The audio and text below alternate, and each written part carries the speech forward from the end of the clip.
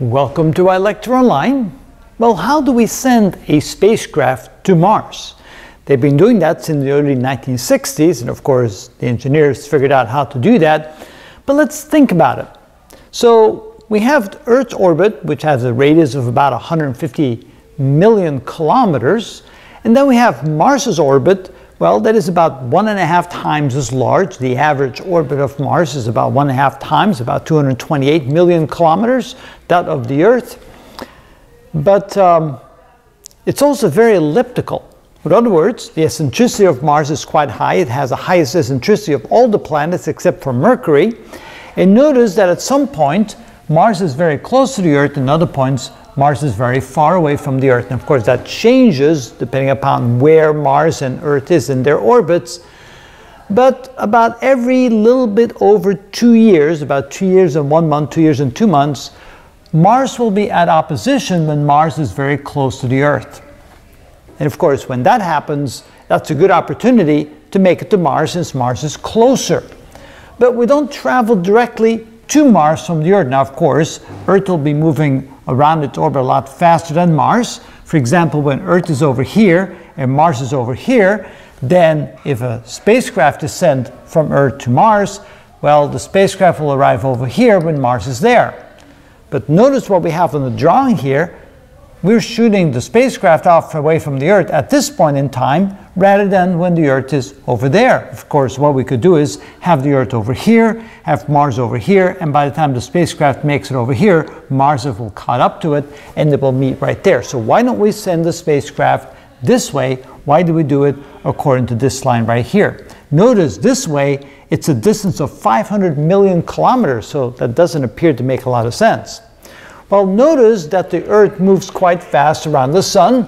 Uh, let's see here, the orbit, um, I have some numbers up here, so let's take a look at these uh, numbers here. The orbit of Mars, it takes about 687 days, which is almost two years for Mars to make one trip around the Sun. For the Earth, of course, it's one year. The different, the distance, the average distance from the Sun for Mars is 1.524 astronomical units, so it's about 52% greater on average than the, for the Earth. But notice that the speed of the Earth around the Sun is 30 kilometers per second, not quite 30, but almost 30 kilometers per second, which is 107,000 kilometers per hour.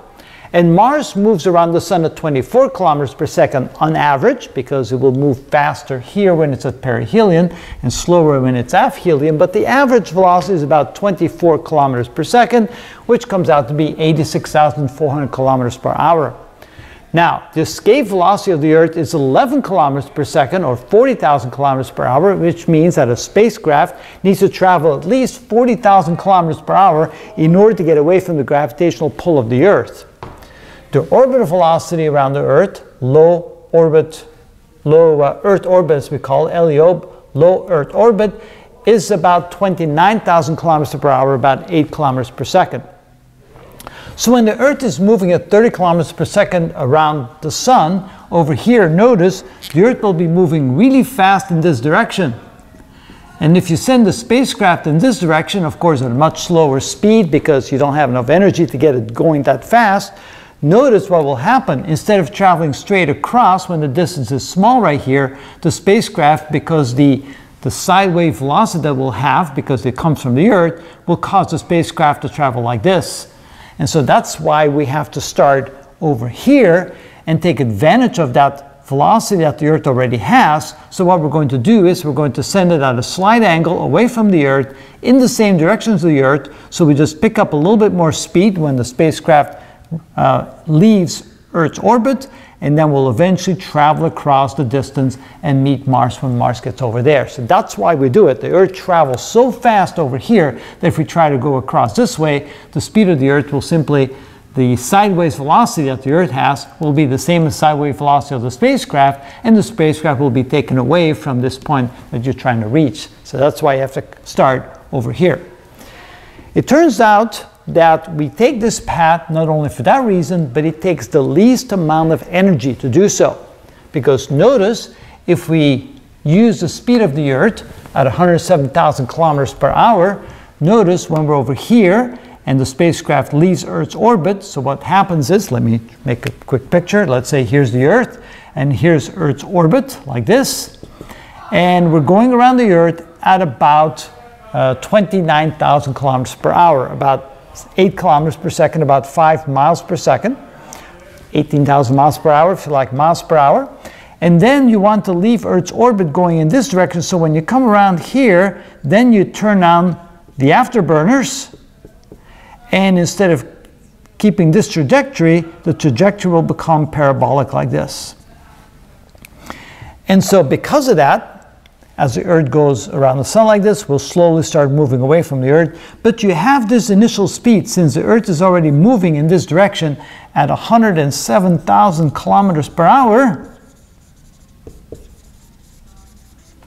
the spacecraft will already have that velocity plus the additional velocity you need to get away from the orbit of the Earth, which probably you need to add about another five or 10,000 kilometers per hour. And because of that, you're now picking up speed at well over 110,000 kilometers per hour. And that speed will then be used to travel this enormous distance of 500 million kilometers.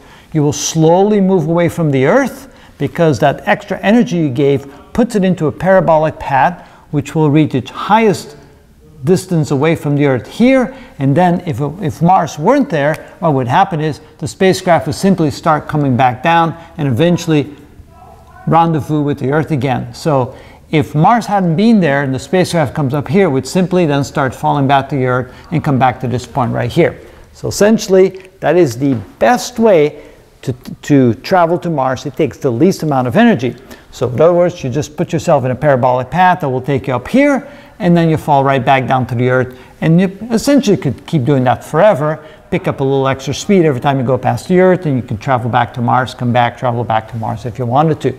But the idea, of course, is to make it to Mars in this fashion.